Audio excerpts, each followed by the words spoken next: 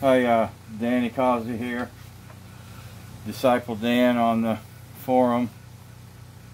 Uh, just wanted to uh, take a little video here of my Rollimat because there's no instruction on this thing and and I just want to get other people's uh, ideas on you know what are you guys doing because um, I want to you know I, I'm my mom was from Missouri I'm from Florida I'm still a show me guy. So I measure my pivots here like this. And that's 1.4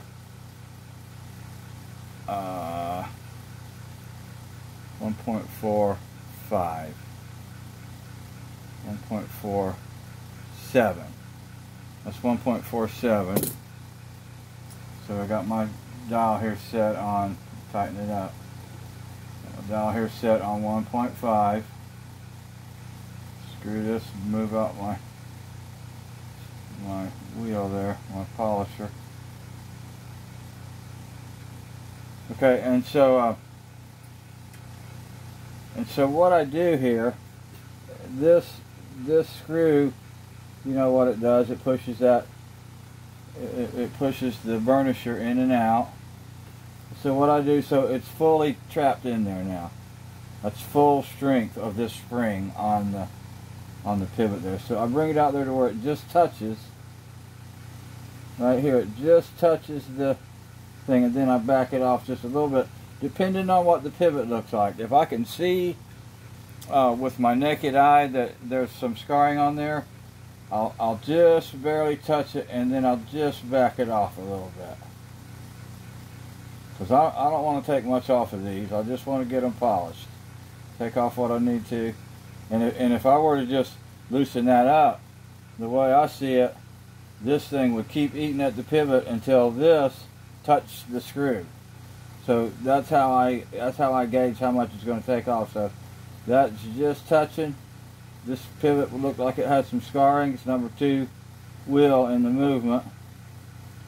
And so I'm just barely touching then I just barely back off.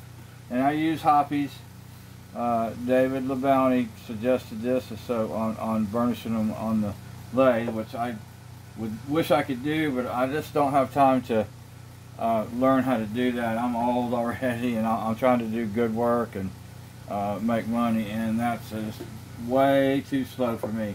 So I invested in this um, Rollimat. It was a lot but it really it really helps a guy like me that's uh, way behind to, do you know better work so uh, what I do uh, I, I've set it up and I can just about tell when I turn it on if it's cutting a lot of this pivot or not just by the sound and the feel the feel of this wheel. So I got her in there and here we go. See I can feel that it's cutting just a, it's cutting just a little bit. I can feel it and then it'll start to ease off because it's getting down to where uh, my my uh, pressure there is getting less because it's starting to touch that screw. That's my theory. If I'm wrong, that's why I'm making this video. Is that right? So, and I go about 20 seconds at least, sometimes more.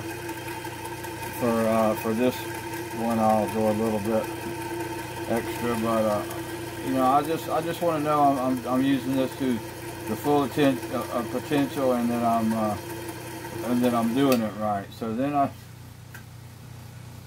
then I just undo that spring over there, wipe my pivot down. I got my goggles on. See, I can still see, I can still see some scarring. I can still see, I, I, doubt, I doubt you can see that little black ring around there. But when I do that, I go back in there, I just open this up a little bit, right where it was. Pop, I get, I pop that back down in there, make sure it's down, and then I just loosen that just a little bit more, just a tad, and then we'll try her again. And uh, and that's how I do my pivots. This is a big pivot. Now this clock here has got some little bitty pivots on it. Those are always scary. This is a Chinese this is a Chinese movement, but you know, I don't know what kind of material they're using, but uh, they're made well. Those those lanterns really look nice. They're, they're they're not they're not too bad. I don't know about the grade of the material. That's what people say they're made out of. Uh, you know, a lesser grade material, but you know, uh, looks like they looks like they got good design. They're trying to make a good a good product. So, you know, I'm not pro Chinese, but uh, these are old. These are back from the old days. So now, now it's looking pretty good. And if I look at this pivot with a uh, times 10 or I can't or maybe it's times a hundred. I've got a little, I've got a little handheld microscope, but when, if I look at it before, I can see the scarring real good, and then if I look at it after, um, I can see, you know, that there's, um, it's not, you know, it's not like real smooth in the with under the microscope, but all of the cuts are going in the same direction and they're and they're pretty much flat across. If you you know, there's no jagged edges. They're they're they're smooth, but I mean, I think that's the best that this thing is going to do. Now, I don't know if uh, if um, you know, doing it by hand, you can get it better than that. Probably, you know, I don't think a machine can take uh, up what a man does, but sometimes, you know, they, sometimes I don't know. But uh, so that's all I want to do. I just wanted to see, uh, get some feedback on, on this and see if you guys are having any better luck or if you're having any similar questions about it. Uh, you know, uh, let's uh, let's talk about it. All right. Okay. Well, thanks y'all, and have a great day. God bless all of you.